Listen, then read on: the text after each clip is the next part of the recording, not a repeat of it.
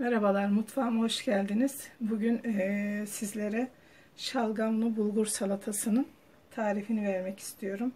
Öncelikle malzemelerimiz bu su bardağıyla 2 su bardağı kalın pilavlık bulgurumuz, 1 kase konserve mısır, 1 tane kırmızı biber, 5-6 tane gene bir kase olacak şekilde salatalık turşusu, bir bağ taze soğan, bir bağ dereotu, maydanoz, bir çay bardağı sıvı yağımız, yarım limon kullanacağız ve süslemek için bir limonun dışı, birer çay kaşığı olacak şekilde karabiberimiz ve yeterince tuzumuz. Bu su bardağıyla da 4 su bardağı şalgam suyu. Evet, şalgam suyumuzu döküyoruz. Üçüncü bardak ve dördüncü dört su bardağı döktük. Ağzı kapatıyoruz. İçine biraz da bir tatlı kaşığı olacak şekilde tuzumuzu ilave ediyoruz. Kaynayınca bulgurumuzu ilave edeceğiz. Evet suyumuz kaynadı ve içine bulgurlarımızı bir kere şöyle suya tutturup şöyle içine birazcık bırakıyoruz. Bir alt üst ediyoruz şöyle. Ve yavaş yavaş suyunu çekmesini bekliyoruz. Hatta bu aşamada şöyle bir çay kaşığı kadar karabiber de sepeledik ve kapağını kapatıyoruz. Kısık ateşte pişmesini bekliyoruz. Evet pilavımız suyunu çekmiş. Altını kapatıyoruz.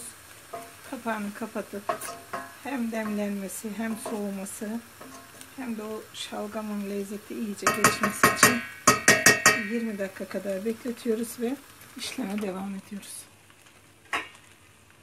Bulgurumuz soğudu.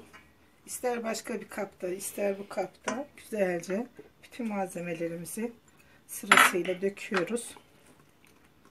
Ve kırmızı soğan da çok güzel yakışıyor buna. Öyle de yapabilirsiniz, doğrayabilirsiniz. Şöyle bir alt üst ediyoruz güzelce.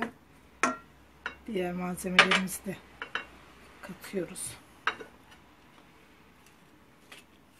Maydanoz, dereotu ve taze soğanlarımızı şöyle bir de karıştırıyoruz. Ve yine bir çay kaşığı, tatlı kaşığı artık o tuz oranını herkes kendi ayarlasın. Sepeliyoruz. Bir çay bardağı yağımızı gezdiriyoruz. Ve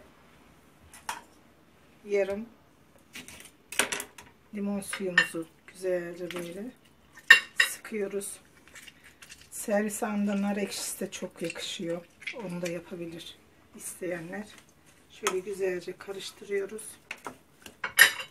Ve salatamız servise hazır. Evet salatamız servise hazır. Allah yedirmeyi nasip etsin. Afiyet şifa olsun. Başka videolarda görüşmek üzere. Sevgiyle kalın. Kanalımıza abone olmayı unutmayın.